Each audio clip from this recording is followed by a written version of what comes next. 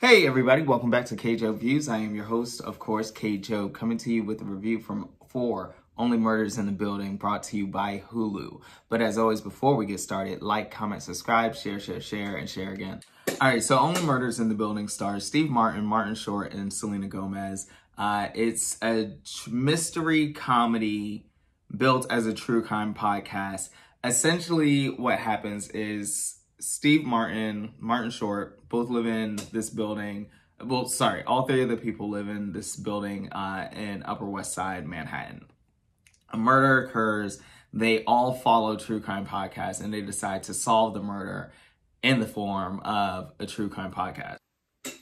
Now, just to give you guys some context for those who don't know, Upper Manhattan, Upper West Side Manhattan uh, buildings can be a lot of stories, a lot of residents, a lot of stories in more ways than one. A lot of residents on each floor um, who could live there like from the time they're child to old. You know, um, it, it's not unknown. So that's just to give you some background on what kind of living situation is going on. This isn't some regular apartment building just so you know, like Upper West Side, Manhattan, apartment buildings are are a different sort of beast. They're living homes as the podcast or as the show continues, we of course start start learning secrets about our main characters first, and then we start to also peel back layers of who done it. You know, um, so that that's one of the biggest draws of the show because a, a lot of people love a good who done it mystery in that sense immediately fresh off the bat, Steve Martin, he has his cheeky deliveries, which I think are just brilliant. He comes in and he says this thing that's like, you know, oh, I'm Steve Martin, like I'm giving my cheeky delivery. And then you have Martin Short who gives you body comedy, like the whoa, whoa, whoa. And then, you know, he's also very good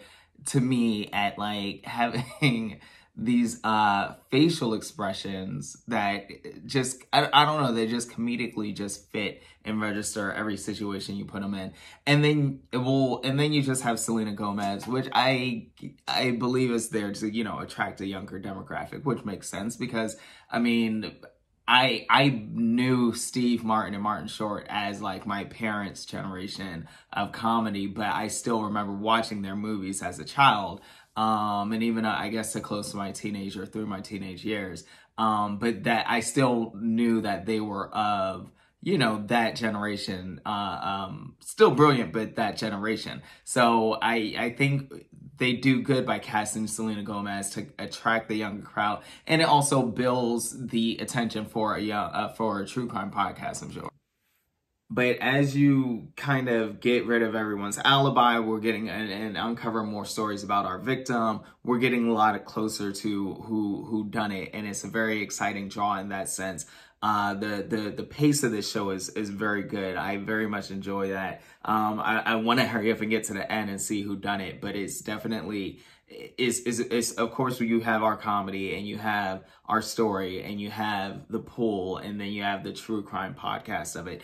Um, so it's just a very good show that I highly encourage people to check out in that sense. All in all, I highly recommend the show for anyone who likes true crime podcasts, anyone who likes mysteries, anyone who likes who done it, um, and anyone who likes old, that old school comedy that uh, Steve Martin and Martin Short bring to any and every um thing they're a part of. So again, that's Only Murders in the Building, streaming on Hulu, uh, fall 2021. As always, like, comment, subscribe, share, share, share, and tell someone to tell someone else about me. I'll catch you guys on the next flick.